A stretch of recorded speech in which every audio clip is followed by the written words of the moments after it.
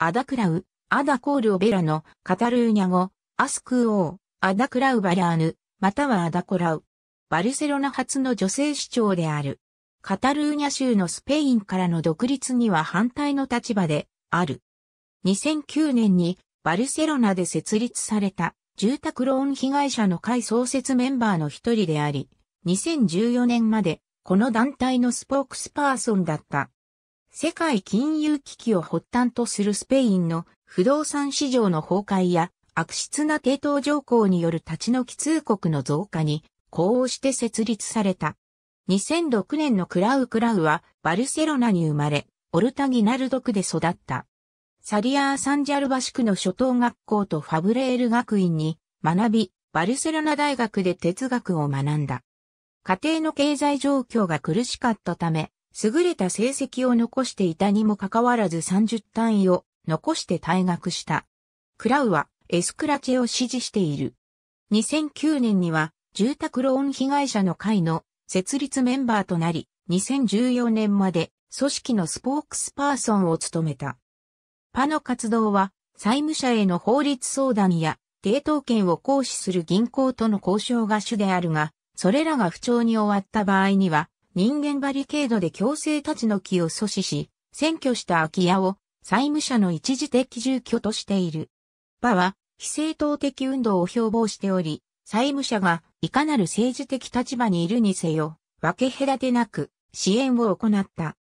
2013年2月の住宅危機時の議会公聴会には、パを代表して出席し、スペイン銀行協会の代表者を犯罪者呼ばわりしたことで、クラウは全国的な知名度を得た。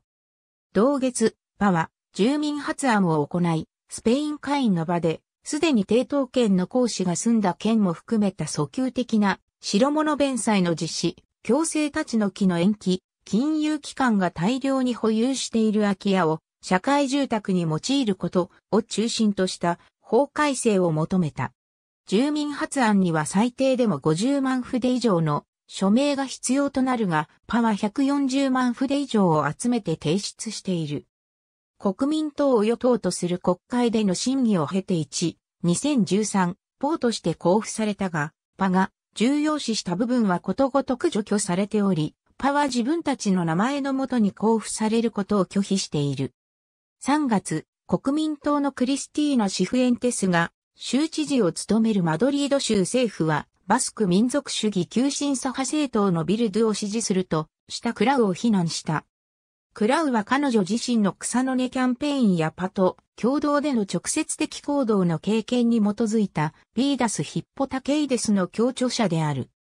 2013年のクラウ2014年5月7日にはパのスポークスパーソンからの辞任を発表し、6月には政治団体グアニエム・バルサローナのメインスポークスパーソンに就任している。グアニエム・バルサローナは2015年5月の2015年スペイン地方選挙のために設立された市民プラットフォームであり、2015年2月にバルサローナ・アンクムーと名を変えて地方選挙に臨んだ。クラウはバルセロナ市議会選挙の選挙名簿筆頭に名を連ね、バルサローナ・アンクムーが11議席を獲得して第一党になった。